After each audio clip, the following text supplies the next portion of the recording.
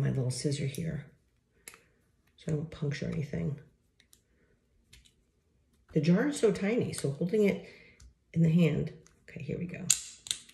All right, so I pulled it up at the up arrow, you pull it back, and you have this. Now, if you take this off, then you have to take off the gray topper as well with the aluminum.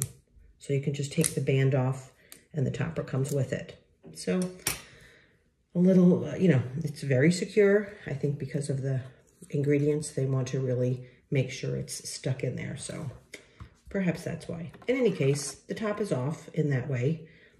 So this was my second piece. And I just popped off the gray top and the silver came with it. Okay, hopefully that'll help.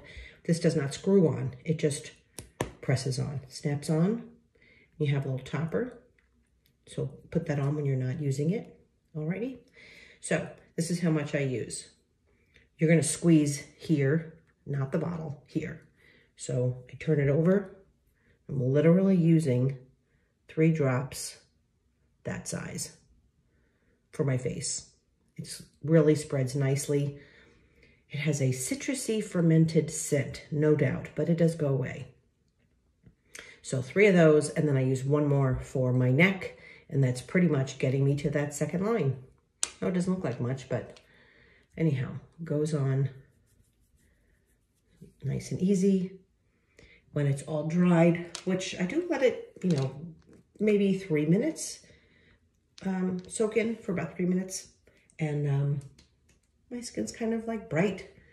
It's kind of got this nice glow to it. I do like it. I like it a lot, actually. so I can see why Korean products are always nicely made and well thought out. So let this dry and before you put your um, the rest of your regimen on. So I applied it to a cleaned face and a toned face. I used it my my cleanser and then an emulsion. Um, and then I waited for that to dry and then this and I'll wait for this to dry before I put on my uh, serum and my moisturizer. Okay, so there you go. And I'm gonna store this under my sink and I store this in my bathroom closet out of the sun, out of the heat. So to wait until I want to use it the next time. So there you go, VITA Cell Solution. I'm giving you two thumbs up.